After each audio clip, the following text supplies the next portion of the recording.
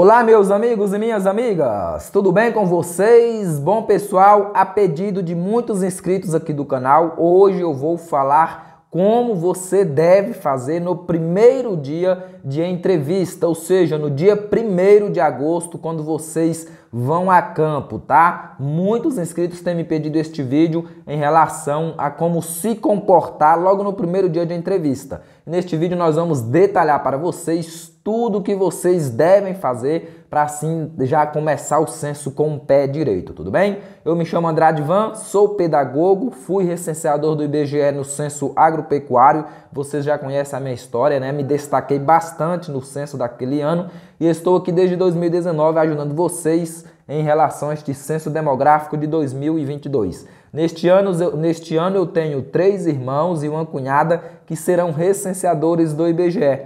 Inclusive, um deles passou em primeiro lugar aqui na minha cidade e está falando sobre, é, está falando do dia a dia do recenseador lá no canal dele, no qual o link está aqui na descrição. Vocês, é, se puder acompanhar ele lá, será de grande valia. Só comentar lá, vim pelo canal do Pedreiro Mineiro. Tá? O nome dele é Isaacs, o nome do canal dele é Técnico no, Técnico no Campo uma vez que ele é técnico em agropecuária também. Então, deixa aqui nos comentários, né, o que vocês também achar deste vídeo. Então vamos lá. Primeira coisa, pessoal, é como vocês irão ser contratados na semana que vem. Eu sei que vocês já vão escolher os setores semana que vem. Mas se de tudo deixar o seu posto de coleta deixar para escolher o setor no dia 1 de agosto, escolha o setor com sabedoria. Tem um vídeo aqui que eu falo sobre o modo correto de escolher o setor. Tá aqui na descrição também. Só dá uma olhada aí, temos vários vídeos na descrição. Dá uma olhada aí que fala como escolher o setor de maneira correta, tá? Vocês assistem este vídeo aí. Então, mas eu creio que a maioria do pessoal é, escolherão setores a semana que vem. Uma vez que é na semana que vem que vocês vão entregar todos os documentos e assim estarão já contratados oficialmente pelo IBGE, já serão recenseadores do IBGE a partir da semana que vem, tá? Então, se escolher o seu setor na semana que vem, escolha com sabedoria. Dia 1 de agosto, né? Se você ainda não tiver escolhido o setor, escolha o seu setor, vai para o posto de coleta. E daí você, no 1 de agosto ainda, analise tudo, DMC, se tá tudo ok, Analise um mapa, tá? Analise também os manuais de recenseadores de entrevista. Coloca tudo, coloca tudo na bolsa aí que vocês receberam do IBGE. Deixa tudo ajeitadinho. Não vai para campo faltando material, não. Pelo amor de Deus, não só no dia primeiro de entrevista, no primeiro dia de entrevista, mas em todos, mas principalmente no primeiro dia de entrevista, você terá que, ter, é, você terá que estar munido de manuais uma vez que é um dia crucial, de você vai aparecer muitas dúvidas em relação à pesquisa no dia 1 de agosto, porque é a sua primeira pesquisa, então você vai precisar bastante dos manuais, do auxílio destes manuais. Então não vá para campo no dia 1 de agosto sem os seus manuais na pasta, tá? Na bolsa aí que o IBGE passou para vocês. Então, primeira dica aqui, guarde os manuais na bolsa, leve para campo para você tirar sim as suas dúvidas. O mapa digital e o mapa em papel também, leve para campo, tá pessoal? Não vá no dia 1 de agosto, não vá sem mapa, uma vez que vocês podem pegar setores que vocês ainda não conhecem. Então tem que ter os mapas, tão, é, tanto digital quanto o mapa em papel também, porque se tiver alguma coisa fora do mapa, vamos supor, você pega o mapa digital do DMC e encontra alguma inconsistência do mapa, perdão, mapa em papel, você vai para campo e vê que o campo está diferente do mapa em papel, você terá que fazer as alterações aqui no mapa em papel e assim entregar para o seu é, ACM, ACS, perdão, no final do setor. Então todas as, as diferenças que você encontrar em campo real para o mapa, o mapa foi feito, se eu não me engano, ainda em 2020. Você vê a maioria dos seus materiais são de 2020. Então pode ser que tenha alguma inconsistência da relação da, da vida real com o mapa aqui. Então você tem que fazer as alteraçãozinhas. É nomes de ruas errados e tudo mais, tá bom? Então leve mapa, o em papel e o digital no DMC. Você já vai estar com o DMC. Outra coisa, observe a bateria do DMC. Como é o primeiro dia de entrevista, eu, eu aconselho vocês fazer com bastante calma. E é essencial que o DMC esteja totalmente carregado para você não voltar rápido do, do, do, posto de coleta. O primeiro dia é um dia que você vai trabalhar mais, digamos assim, porque é um dia de aprendizado. Então você tem que estar tá tudo em dias, bateria 100%. Eu já vi muita gente falar aí que a bateria desse DMC é, é fraca, né? Na minha época, aguentava um dia de entrevista tranquilo. Só que assim, é, eu desligava, né? Eu, eu deixava para ligar ele dentro do setor, então já me ajudava bastante. E na vinda também eu desligava e deixava para ligar ele em casa. Então, mas deixa o setor bem carregadinho, tá? Não vá para campo com o setor descarregado não, tá bom? É, outra coisa também, pessoal, é, vai de colete, crachá bonitinho, não esqueça crachá, é o primeiro dia, é o primeiro contato de vocês com o entrevistado. Então o que fica na mente do entrevistado é o primeiro contato.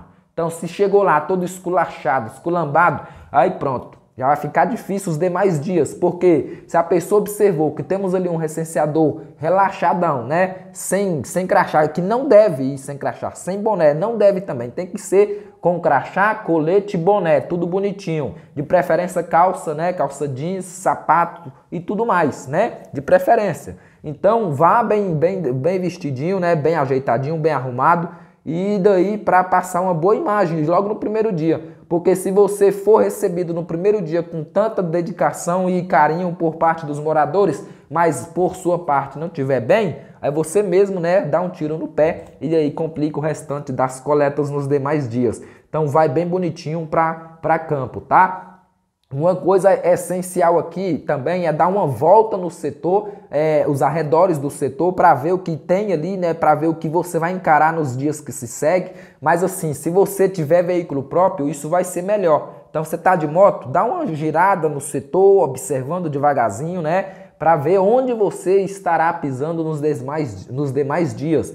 É, procure saber também sobre aquela população antes, como é que a recepção, procure saber, então dá uma voltinha, né? Dá uma conversada com o pessoal aqui ali, já explica, olha, é, nos dias que se segue eu vou começar a coletar esse setor hoje, a partir da semana que vem eu estou passando por aqui. Então já bate esse bate-papo, não já chega de primeiro, não já chega a primeira coisa, já vou abrir uma entrevista aqui. Não, dá um bate-papo, é o primeiro dia, não tem, não, tem, não tem preocupação em gerar muito naquele dia. Até porque é o primeiro dia, você vai ter é, muita produção nos demais dias se você dá uma boa imagem para o pessoal que mora ali. Né? Então, gasta o primeiro dia ali com mais conhecimento com a população. Isso eu falo se a sua população é, te, digamos assim, te proporcionar isso, né? Porque vamos supor, se for umas casas onde muito, todo mundo é ocupado e tudo mais, não tem essa necessidade. Mas se for uma, uma região que o pessoal tá por ali, então não custa nada você conversar com uns, um timinho de futebol que tá ali jogando na rua. Então, é tem essa conversa logo no primeiro dia, né? E assim já vai deixando o caminho aberto para você nos, nos demais dias, tá bom, pessoal? Então faça isso, dá um giro ali no setor, né? Observe onde você vai entrar, onde você vai deixar de entrar. Ah, mas eu não tenho veículo próprio. Então beleza, faça a sua primeira entrevista sem antes dar uma, é, essa corredinha ali, mas faça com bastante dedicação. E no final do dia, se você quiser, entrou por aqui, sai por outro caminho, que é para você já ir, né, é, no seu próprio no seu próprio deslocamento, você vai conhecendo o setor. Ou seja, eu quero começar o meu setor daqui, ponto X. Então, quando você for embora, sai, saia pelo ponto Y. Para você observar, né? Ah, eu vou sair do lado lá. E você atravessa todo o setor, todo o bairro e vai embora por outra rua. E assim você já ganha tempo. Indo embora, tá conhecendo o seu setor. Tá bom? Fica essa dica aí bastante legal também. Outra coisa que seria tema e vai ser tema de outro vídeo, porque eu creio que a maioria que começou esse vídeo não está mais nele. Então já vai perder essa dica. Mas você que ficou, eu vou deixar aqui para você essa dica. Depois eu vou trazer um vídeo só especialmente para isso sobre a primeira entrevista. Estou falando aqui do primeiro dia de entrevista, mas o vídeo que eu vou falar é sobre a primeira entrevista. Você que já ficou aqui é, vai, vai saber agora como fazer essa primeira entrevista. Ou seja, Tiram foto, uma foto do ponto de referência, uma foto do ponto inicial, perdão, do ponto inicial do setor. Você tem que tirar essa foto. Os ACMs, acessos vão pedir essa foto. Então vai começar o setor, tirar foto ali de uma caixa d'água. Comecei por aqui. Ah, tirar foto de uma esquina, de uma placa, de uma praça. Eu comecei o setor por aqui. Então tem que ter essa foto do ponto inicial do setor, tá bom? Outra coisa também é o seguinte, Faça a primeira entrevista com bastante calma, pessoal, sem estresse na primeira entrevista. A primeira impressão é que fica. Então não tenha pressa. Ah, eu quero fazer logo para mim gerar. Não, o primeiro dia você não vai gerar nada, sendo claro para você. Você vai começar a gerar ali a partir do segundo setor, não é nem do segundo dia, é do segundo setor. Porque é no primeiro setor que você vai errar, é no primeiro setor que você vai pegar experiência com DMC, é no primeiro setor que você vai pegar experiência em atender em relação ao pessoal, né? Em relação em fazer entrevista. Então não tenha muita expectativa para o primeiro setor. O primeiro setor é o setor de, de aprendizado. Então faça uma pesquisa calma, faça uma pesquisa com dedicação, sem é, correria, porque senão você vai errar né? E o primeiro setor é o setor de erro mesmo, mas assim, se você correr, você erra mais ainda. Então, primeira entrevista é uma entrevista calma, relaxante, pergunte o nome do entrevistado, né? Abre é, é, uma entrevista ali com calma, lê direitinho, lê paciente para o entrevistado, explica direitinho para assim você ir pegando, aprendendo enquanto trabalha. Muita gente reclamando, ah, não deu tempo aprender nada no treinamento. Vocês não vão aprender nada no treinamento, uma vez que o treinamento é treinamento. Treinamento é treinamento.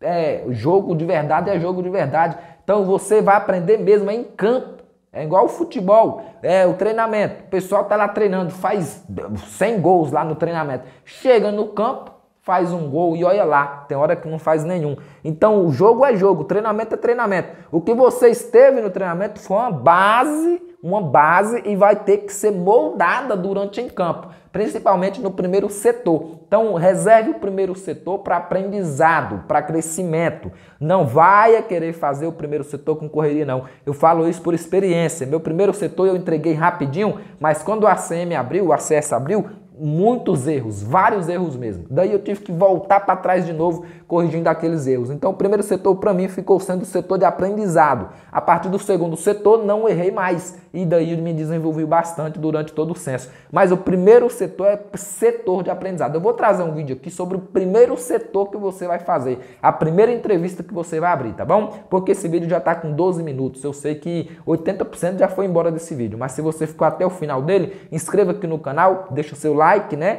E também comente, Andrade, eu fiquei até o final do vídeo, porque eu quero dar o meu melhor neste censo demográfico de 2022. Eu quero fazer a diferença nas pesquisas deste censo de 2022. Então, se você ficou até o final, deixa aí nos comentários e o vídeo vai encerrar por aqui, porém, eu prometo trazer para vocês um outro vídeo falando né, bem detalhado mesmo sobre o primeiro setor e sobre a primeira entrevista. Aqui eu comecei a falar para vocês, né, sobre isso, mas tem muito mais o que falar além disso aqui em em relação aos primeiros setor e à primeira entrevista. Um grande abraço, eu vou ficando por aqui. Falou, fiquem todos com Deus, que Deus vos abençoe grandemente. Estou muito feliz pela conquista de vocês que irão contar a população neste ano de 2022. Grande abraço, falou, ficamos por aqui e até o próximo vídeo.